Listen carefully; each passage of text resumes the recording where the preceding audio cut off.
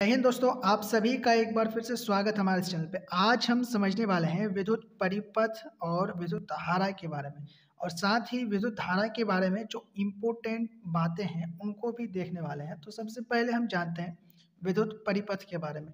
यहाँ पे देखिए, विद्युत परिपथ, विद्युत का मतलब होता है इलेक्ट्रिसिटी और परिपथ को इंग्लिश में कह परिपथ को रास्ता, ये बात आप जानते हैं और विद्युत को इंग्लिश में इलेक्ट्रिसिटी कहते हैं मतलब बिजली।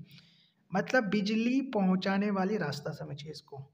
तो बिजली किससे पहुंचाता है? कौन सा रास्ता है? आप लोग जानते हैं कि तार जो होता है, तार के द्वारा हम बिजली को एक जगह से दूसरी जगह ले जाते हैं। बस वही चीज़ आपको लिखना है। बट एक सही तरीके से होना चाहिए। अब ज़रूरी नहीं है कि जो चीज़, जो लाइन यहाँ पे लिखा हुआ वही लाइन आप लिखेंगे। आप अपने हिसाब से बना करके भी इसे लिख सकते हैं। यहाँ पे देखिए, किसी विद्युत धारा के सतत और बंद परिपथ को विद्युत परिपथ कहते हैं। विद्युत धारा मतलब इलेक्ट्रिसिटी मतलब करंट बिजली के सतत और बंद परिपथ को मतलब वो बंद भी होना चाहिए। मतलब कि अगर उसको जो तार होता है, उसको अगर हम खुला रख दें तो उससे करंट लगेगा, उससे बहुत सारे जीव जंतु मनुष्य मरेंगे। करंट लगने की वजह से, लेकिन अगर हम उसको बंद कर दें तो उससे नहीं होता। आप लोग तार में जो प्लास्टिक होता है, यहाँ पे मेरे पास एक चार्जर है, यहाँ पे आप देखेंगे। इसमें तार है इसके ऊपर जो कवर चढ़ाया गया है इसके वजह से हमें करंट नहीं लगता है तो ये चीज़ है। तो इसी को बंद परिपथ को विद्युत परिपथ कहते हैं। ये चीज़ सिंपल सा चीज़ है आप इसको इजीली लिख सकते हैं अपने हिसाब से भी लिख सकते हैं। दूसरा चीज़ है विद्युत धारा मतलब कि विद्युत धारा यानी बिजली के चल, बिजली का धारा। तो यहाँ पे देखिए चालक से होकर आवेश की प्रवाह की दर को विद्युत धारा कहते हैं। मतलब कि चलाने वाले से होकर विद्युत आवेश।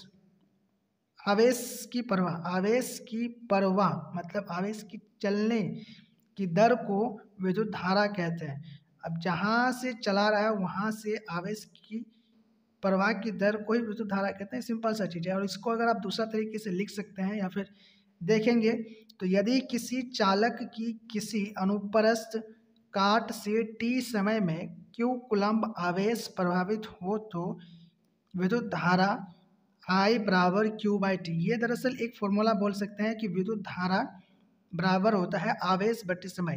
मतलब ये आवेश और एक विद्युत धारा को, यानी करंट को एक जगह से दूसरी जगह ला जाने में जितना समय लगता है, उस समय से अगर हम भाग दे दें तो विद्युत धारा आसानी से निकल जाएगा।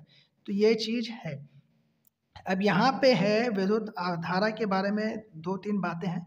यहाँ पे देखिए विद्युत धारा मापने की यंत्र को एमीटर कहते हैं। मतलब विद्युत धारा जिस यंत्र से, जिस मशीन से मापा जाता है, उसको एमीटर कहते हैं।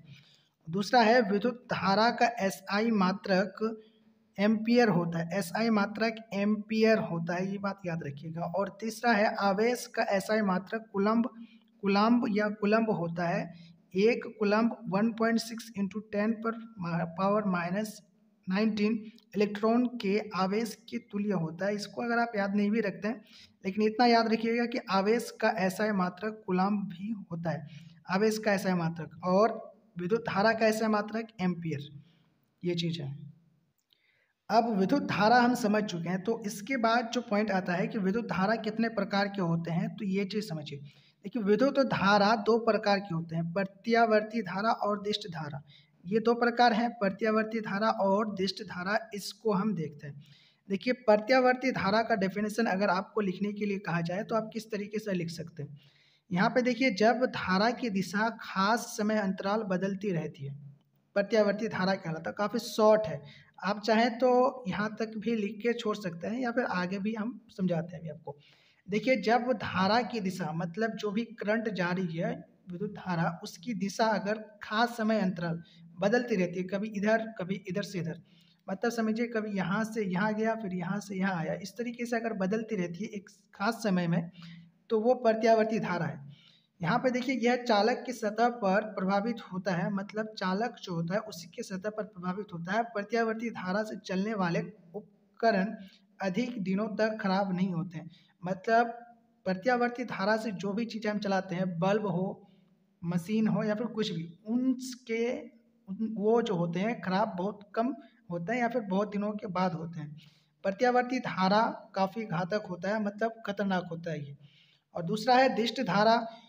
यहाँ पे देखिए वैसी धारा जिसके परिणाम या तो चर होते हैं या प्रत्यावर्ती, लेकिन धारा एक ही दिशा में बहती रहती है। या फिर चलती रहती है। यहाँ पे देखिए, इसको अगर आप शॉर्टकट में लिखेंगे तो इतना लिखने की ज़रूरत नहीं है।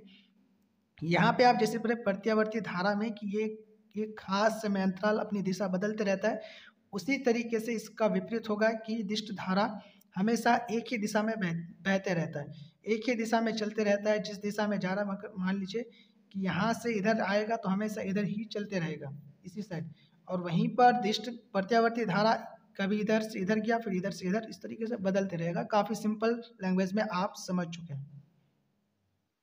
सो आई होप कि आप लोग समझ गए हैं। तो चैनल को सब्सक्राइब कीजिए क्योंकि आपको इसी तरीके के कंटेंट यानी वीडियो मिलते रहेंगे और चैनल के जो सब्सक्राइब करने के बाद बेल आइकॉन मिलेगा, उसको ऑल पर ज़रूर क्लिक करें।